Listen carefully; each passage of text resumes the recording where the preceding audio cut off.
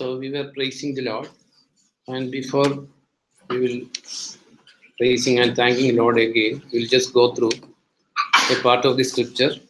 Uh, Hebrews 10 verse 24 and 25.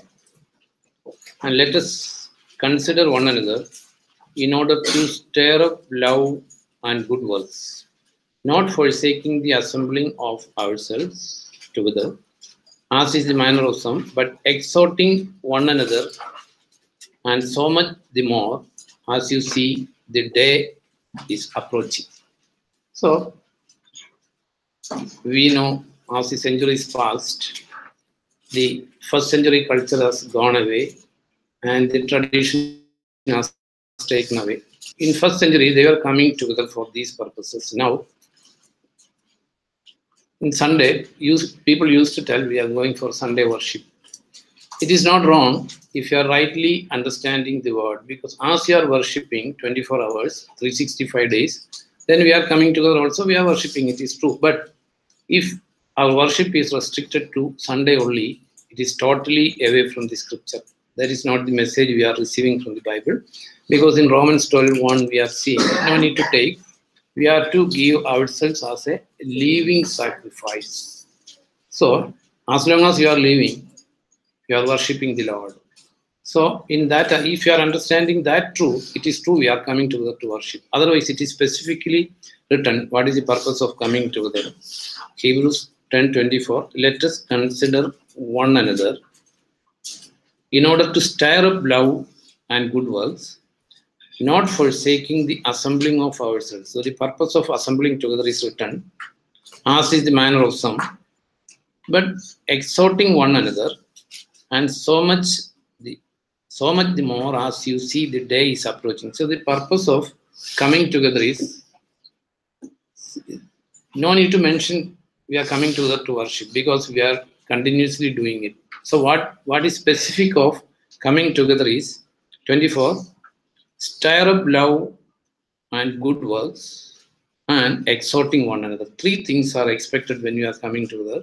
Again, I am repeating because the tradition has already conquered. The traditionally people used to tell we are going for worship on Sunday.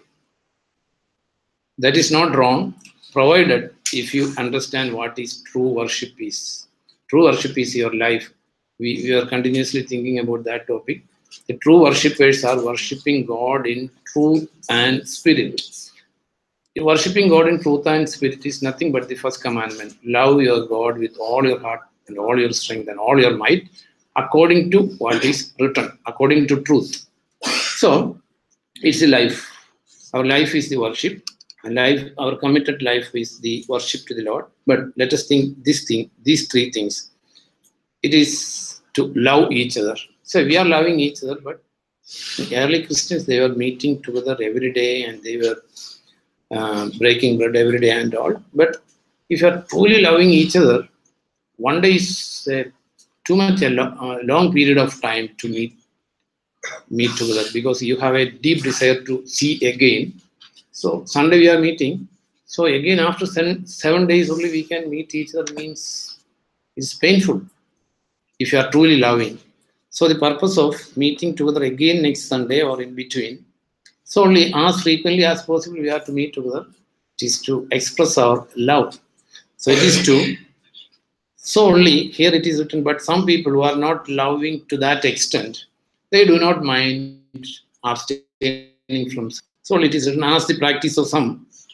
You should not practice it. That is what what is written 25 not forsaking the assembling of ourselves together, Ah, as is the manner of some.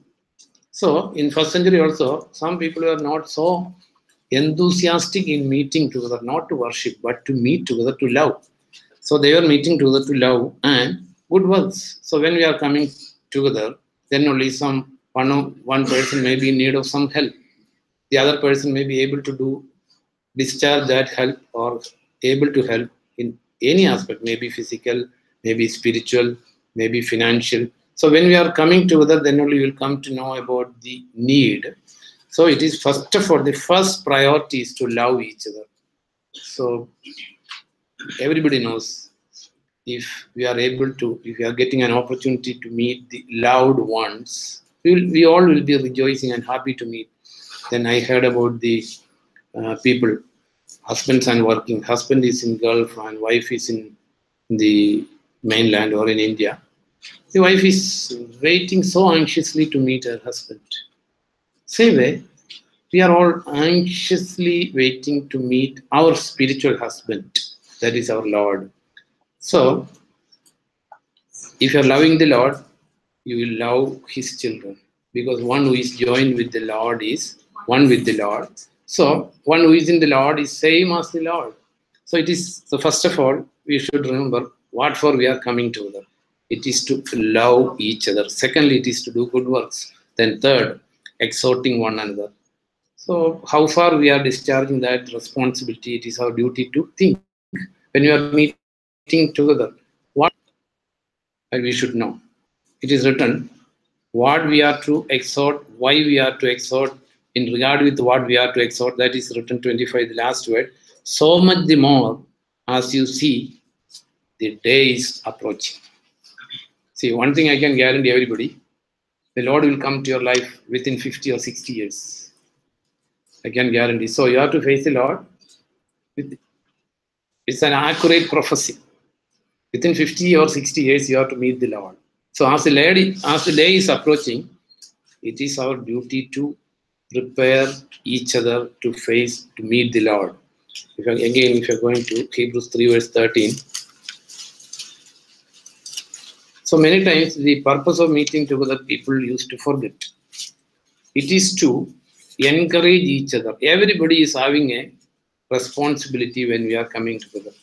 You cannot say like Cain, am I the keeper of my brother? We are all keepers of brother. We are to encourage each other.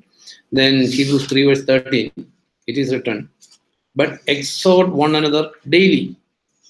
That is the New Testament message, but we are not meeting every day at least once in seven days we are meeting. Exhort one another daily while it is called today. That means today we are alive. Tomorrow we don't know whether we will be alive or the Lord will come in the midnight. We do not know anything about tomorrow, whether we will be alive or not.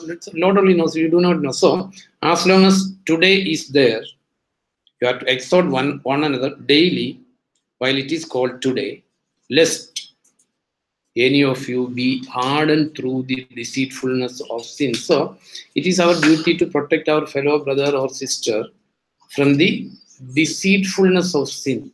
So sin is deceitful because the author and the fabricator of sin is Satan. One of the names of Satan is deceiver. So we will be deceived by the deceitfulness of sin. What is the deceitfulness of sin? If you are going to Hebrews 10 verse 25. No, no, 11.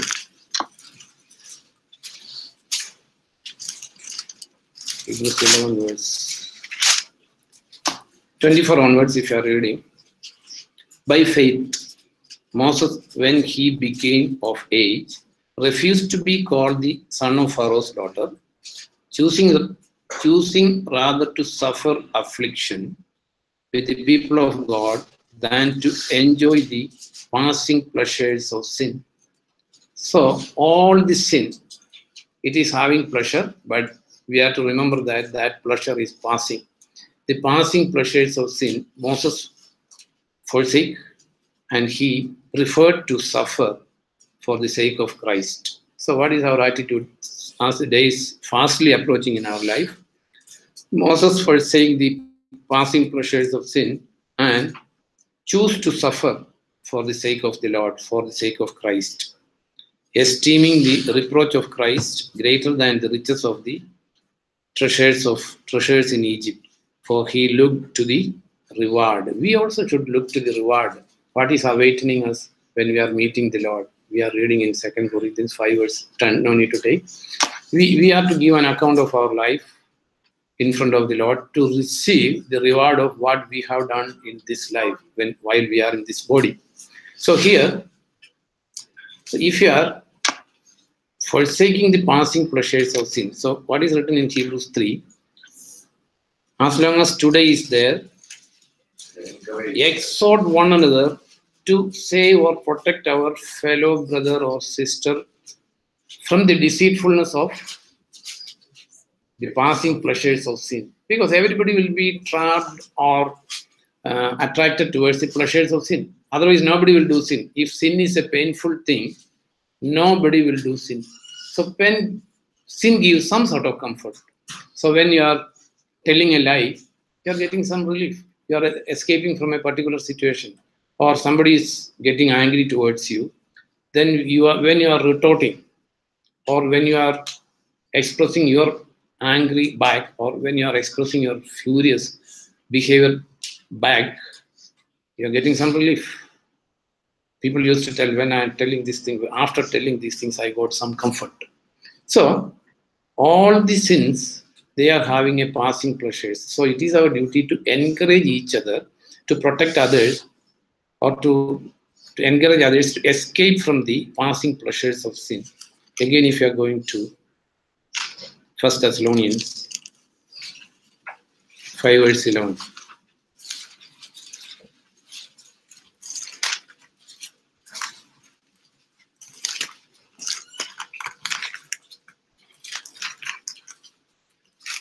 First Thessalonians 5 verse 11. Therefore, comfort each other and edify one another, just as you also are doing. The Thessalon- Thessalonic Thessalonians, those church members, they were doing it. So Paul is encouraging them to continue what they are what they are doing. So therefore, comfort each other and edify one another, just as you also are doing. So, are we like the Thessalonian believers? Are we doing comforting each other or edifying each other? So, this is what is written in the scripture. Lord spoke with me, spoke to me last week. He told these things to me. So, He edified me. So, I made a decision to live for the Lord according to the scripture. So, what, what for we are coming to there? We have to think because many people sometimes they are coming to there without knowing the purpose of coming to there. So we have to know we are coming to there to love each other first of all, because love is the all law. So in First Timothy 1 verse 5 we are reading the purpose of all our commandments, the purpose of all Bible study, fasting, prayer, studying the scripture, everything. The First Timothy 1 verse 5 we are reading. Now, the purpose of the commandment, purpose of the commandment from Genesis to Revelation, or the fulfillment of the law is love. The purpose of all the commandment is love from a pure heart, from a good conscience, and from a sincere faith. So, we are coming together to make our conscience good and to develop our faith, sincere faith, and to develop a pure heart.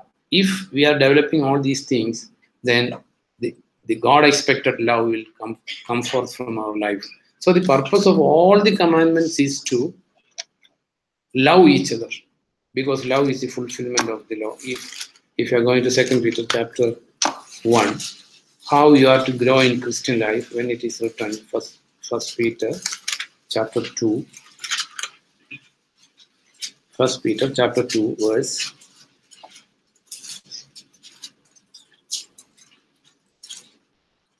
see 5 onwards but also for this very reason giving all diligence giving all diligence means all attraction you have to concentrate only on this topic that is what is called give all diligence all attention everything give all diligence at your faith so, starting from faith, we know we are all saved by faith because of the grace of the Lord. So, we have started our life in faith, no doubt. You are saved by you are saved by faith alone and by grace alone.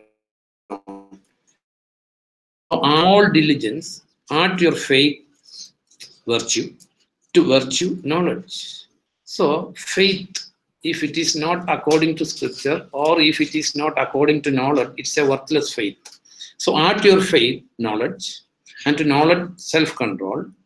So knowledge may be there, but no self-control is there because if you have the knowledge of the Lord, definitely you have the self-control. So we have to struggle hard to add self-control to knowledge.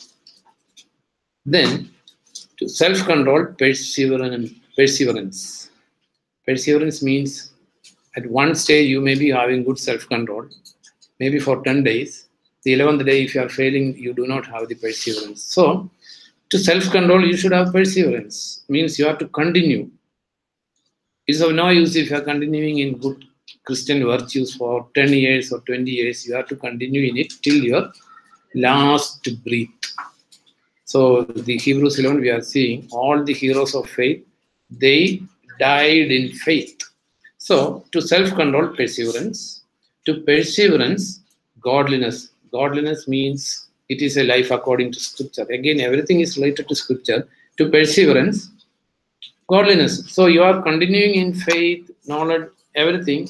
But if your life is not according to scripture, there is no godliness. Godliness is a life according to scripture. So to perseverance, godliness. To godliness, brotherly kindness. So you are godly, you have good faith and everything, but no kindness in the life. Jesus, many times when he's seeing the multitude, he felt with compassion, mercy. To godliness, brotherly kindness, and to brotherly kindness, love. So starting from faith, it should end up in love. So we have, we have all started in faith, no doubt, and we all have love, but in different extent. So we have to struggle hard to cultivate love, which is according to scripture. And the quality of love, the Christian love is written in 1 Corinthians 13. So there are different types of love in the world. There's love between lovers, love between parents and children. Different types of love in the world, but the God expected love, the quality of that love is written first Corinthians. Few words I read, not full. We have to know. Hebrews, no, First Corinthians 13. Though I speak with the tongues of men and of angels, but have no love, I have become sounding brass or a clang, clanging cymbal. And though I have the gift of prophecy and understand all the mysteries and all knowledge, and though I have all faith so that I could remove mountains, but have not love, I am nothing. And though I bestow all my goods to feed the poor, and though I give my body to the to be burned, but have not love, it profits me nothing. Love, then the so we have to know whatever whatever may be the Christian virtues we are having. You may have faith to move the mountains, or you are selling everything to give the poor. Everything, you know, without love, you can do all these things. So without love, whatever you are doing is nothing. Then verse 4 onwards, love suffers long and is kind. Love does not en- envy. Love does not parade itself, is not puffed up, does not behave rudely, does not seek its own, is not provoked, thinks no evil, does not rejoice in iniquity, rejoices in the truth. Truth is word of God. So, if you are not rejoicing in the scripture, word of God, it's not the divine love what we have inside because love rejoices in the truth. Solely in Second Thessalonians we are reading, since they did not love the truth, God has forsaken them or given them over to strong delusion so that they started believing lie. So if you are not loving and believing the truth, God will forsake us. He will give us over to wrong belief and all wrong doctrines and all. So we are to um, rejoicing in the truth, bears all things, believe all things. Believe all things means believe all the scripture. Not that everybody is telling you something and you are not believing. No, it's love is with the discernment. So believing all things means all the truth you are believing. Your faith is based upon the truth. Believing all things Love, this is what I want to tell. Love never fails. Love, love never fails because that is the fulfillment of the law. So we are coming together to love each other. Then love is of specific qualities, not the love what we are seeing in the world. This love, it will not quarrel, it will not parade itself. That means if you are having the true love, you will not talk about yourself. You will not talk about yourself, whereas you will talk about the Lord and Lord's kingdom. If you are talking about yourself and your achievements in the world, it's not the love. It's not the love which Lord is expecting to cultivate in your life. It's not puffed up, no proud, and does not behave rudely. See, some people are known for their rude behavior, getting angry, speaking in an unlov- unloving way, and destroying the peace of everything. In if the husband or wife, if they are speaking rudely, the peace will be taken away from that house. No peace. If you are speaking rudely, no peace. And if you are, why you are speaking rudely, it is because you do not have the divine love. If you have the divine love, you will tolerate everything. That is what is written. And love does not parade itself, is not puffed up, does not behave rudely, does not seek its own. See, Lord told us it is better to give than to receive. If you do, if you if you are having the divine love, when you are meeting somebody, you are thinking of what I can give to that person rather than what I will get. When you are coming to church, also you have to think what I can give rather than what I will get. If you are thinking like that, it's because you do not have the divine love. So it is does not behave rudely, does not seek its own. Because in the last days, what is written in Second Timothy, the, la- the quality of Christians in the last days. It is not about the people of the world, it is written about the quality of Christians in the last days. Second Timothy 3, no need to read full, verse 4. Lovers of pleasure rather than lovers of God. Lovers of pleasure means we are loving ourselves, our own comfort, our own benefit, our own things we are thinking, rather than thinking about God and His kingdom. So, this love, if you have the divine love, it will never seek your own, its own. And again, it's not provoked. If you're getting provoked by somebody, keep it in mind you do not have the divine love. The love what we are having is some other love. The love of the world, it's not a love which is cultivated by the Holy Spirit. So think about that. Think about our own life if you are getting provoked by the behavior of anybody, maybe your wife or children, whomsoever it is, if you are getting provoked, you have to repent. You have to understand that your heart is not rightly changed. You are not grown up to the expectation of the Lord. So the divine love, it will never get provoked. Um, it's not provo- provoked. Thinks no evil you have to think only the good things of others. You are not a fault finder. You are thinking only the good things of others because your eyes are so tuned to see the good things. You see, in when we were young, the children play like keeping a spectacles on the face and different colored papers they will keep on the covered the glass with the different color papers.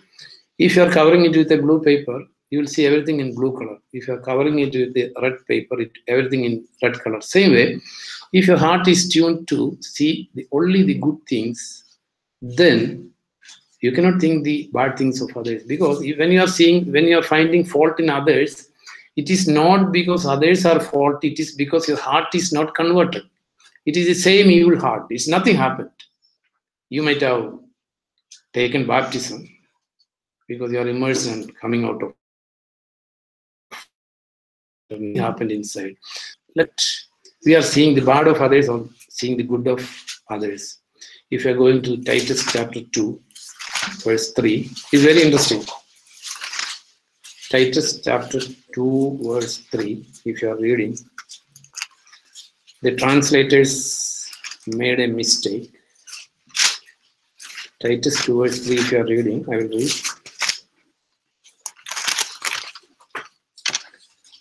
um, regarding the older woman, the older woman likewise, that they be reverent in behavior, not slanderers.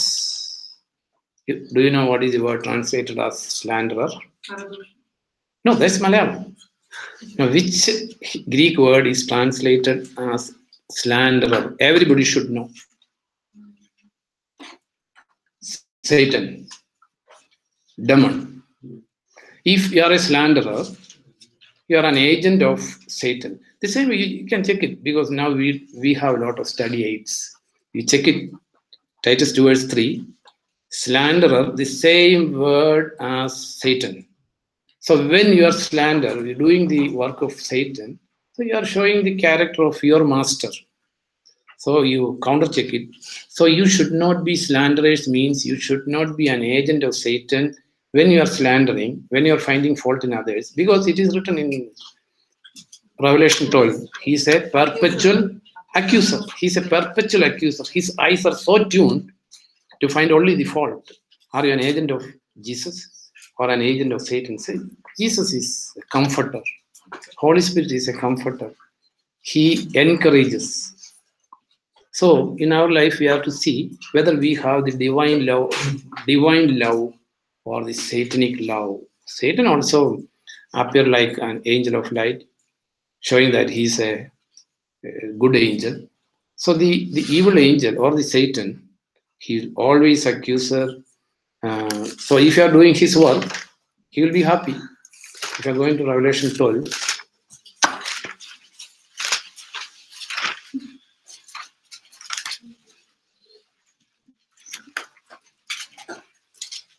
Revelation 12 verse. Uh, if you are reading 12 verse 10. 10 onwards, then I heard a loud voice saying in heaven, Now salvation and strength and the kingdom of our God and the power of his Christ have come, for the brethren accuse them or night has been cast down. It is our duty to think whether this accuser is cast down from our life. If you are an accuser, you will get destroyed yourself and your family will be get destroyed, your children will be destroyed. Because if you are an agent of Satan and working in this world, if you are a missionary for Satan, nothing good will. He has come to your life to destroy you. So he is a perpetual accuser. Uh, it is written for the accuser of our brethren.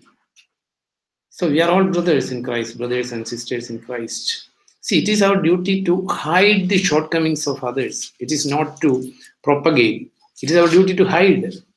See, you go back to the Genesis, no need to take. After the flood, the Noah, Noah was drinking and he became, lost his all senses. He, he lied down as naked. So the Ham, he called the other brothers and showed how our dad is behaving. But the other two, Covered. they walked backward, covering the shortcoming of their dad. Are we followers of Ham or the other brethren, uh, other two brothers? They wanted to hide the shortcoming of their dad rather than exposing to the others. If you are trying to expose the shortcomings of others, you are a descendant of Ham. What is awaiting you? Yes. Not only Ham. The generation of Ham was cursed. Ham, it is written, it is interesting. It is not that Ham is cursed. It is written, Generation. Canaan, no, Canaan is, go to Genesis 9. So when you are accusing or doing the work of Satan, you are destroying not only yourself but your children, children's children. Uh, Genesis chapter 9.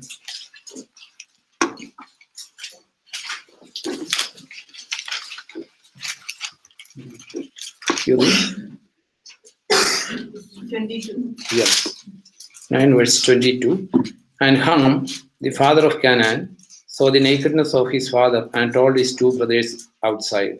But Shem and Japheth took a garment, laid it on both their shoulders, and went backward and covered the nakedness of their father. Their faces were turned away, and they did not see their father's nakedness. So Noah awoke from his wine and knew what his younger son had done to him.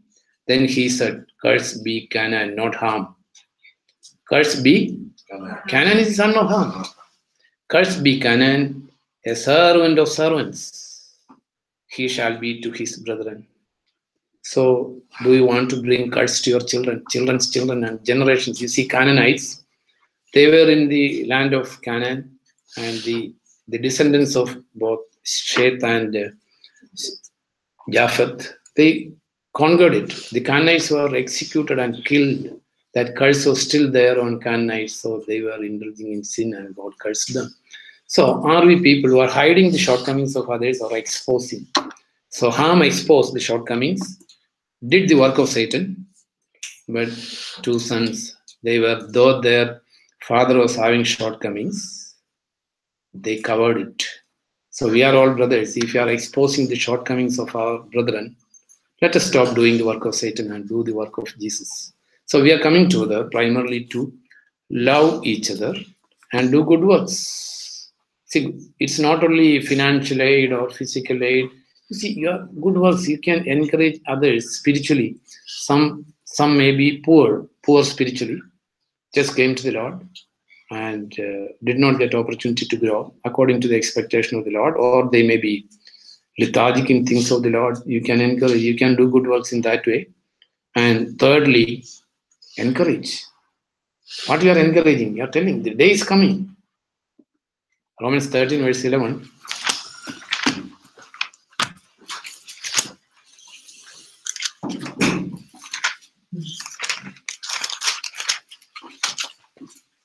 Romans 13, verse 11, and do this, and do this, knowing the time that now it is high time to awake out of sleep. It is high time for each and every one of us to come out of sleep, and now, and now our salvation is nearer than when we first believed. Now my salvation is far nearer than at now I am 30. Now I am nearer than when I first believed. And each and everyone is fastly approaching the day. So we have to encourage and we have to wait impatiently for the return of the Lord. It is written again, one more word I will read in regard to the return of the Lord. He, the same Hebrews 9, verse 27. To whom he is coming back, we should know. Hebrews 9, verse 27. And as, as it is appointed for men to die once, nobody can escape it is appointed for man to die once, but after this, the judgment. So Christ was offered once to bear the sins of many. To those who eagerly wait for him, he will appear a second time. See, his second coming is for those who are eagerly waiting for. It is not that I, I want to live till 90 years old, then I am not able to walk or I am not able to enjoy anything of the world, then I want the Lord to come back. No, now is the time. If you are not desiring his return now, you will never going to desire his return in your life. If you are not loving the Lord now, you are not going to um, grow in the love. Because love is love must be absolute. There can be shortcomings in our life, but our love towards the Lord must be quality, qualitatively, it must be absolute, not quantitatively. Quantity may improve, but qualitatively our love must be absolute. Otherwise, Lord will not accept us. That is the first commandment. So he is coming back to receive those who are eagerly waiting for him. One more word, First Thessalonians 1 verse 9 and 10.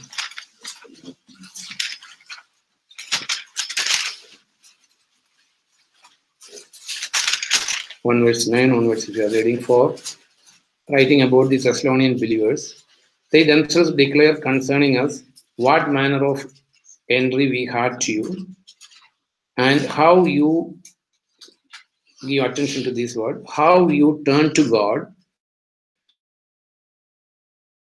to and true God, and to wait for his Son from heaven, whom he raised from the dead, even Jesus, who delivered us from the wrath to come. He, he has delivered us from the wrath to come. Those, are, those who have not given their life to the Lord, definitely what is awaiting is the wrath of the God. So the Thessalonians believers had only two business. So that's an example. It is written for us. They were they turned from idols to God. All idols. They have totally turned to God. No idols in their life. It is not the statue. It is not the. It, it can be idols. Your love towards money is idols. Your love towards the children, it's it can be an idol. Everything can be an idol. If you're if you're truly repented, you love Lord and Lord alone. All other love, it should flow through the Lord. Then it is right love. Otherwise, it's not right love. So turning from idols to God and and to wait for His Son. So what is our life? How we turn from idols to God, and are we waiting for His return? He will come back whether we desire or not, he will come back within 50 years, 60 years. I'm not talking about his second coming. In our life, he will come within 50 years. I'm counting my age, I am telling. Some of you may meet him after 70 years or 80 years, but less than 100 years of time, all of us, including the small children, have to face the Lord and to face the judgment. His judgment is impartial. Many times, I became sad about his impartial nature. I used to think, see, if, if I'm doing something wrong, he will forgive. No, his judgment is impartial. Many times, the Lord's character saddened my heart. Even when I used, I used to think I'm committed, doing service to the Lord, but even small mistake I'm doing, he's many times so painful just like the words of Paul, they, Paul at one stage is telling he wanted to die. He find it better to die than to live. So his impartial judgment we are to face. So let us come together to love one another. One another. We should be ambassadors of Jesus Christ, not Satan. You should not be an accuser of the brethren, doing the ministry of Satan then doing good works and encourage encourage spend time to praise